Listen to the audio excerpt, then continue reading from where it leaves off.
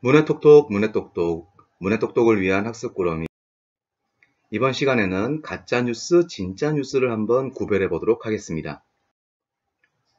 가짜뉴스와 진짜뉴스는 왜곡된 정보와 진실된 정보가 섞여 있는데요.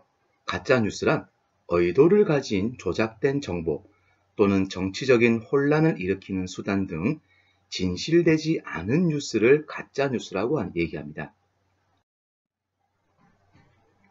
가짜뉴스와 진짜뉴스는 첫 번째, 출처를 정확하게 밝힌 것인지 아니면 작성자를 확인해야 됩니다. 그리고 진짜 근거가 적절한지를 확인해야 되고 날짜가 언제 정확하게 기록이 되었는지도 확인을 해야 됩니다. 그리고 빠르게 판단하는 것보단 전문가에게 물어서 이것이 진짜인지 아닌지를 판단하는 것이 정말 중요한 얘기입니다. 예를 들어 볼까요?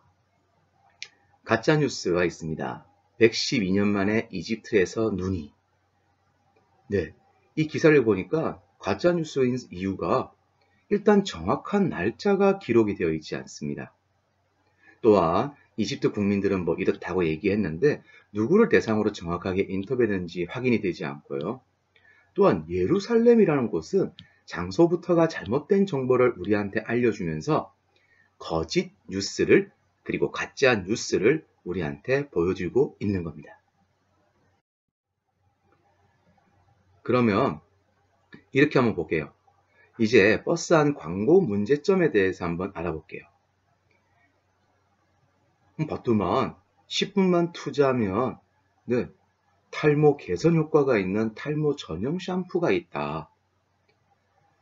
그래서 여기서 보면 믿고 쓰는 다난다 샴푸 이런 것을 보면서 저는 이런 생각을 해봤습니다. 이것은 분명히 과장 광고인 것 같다라고.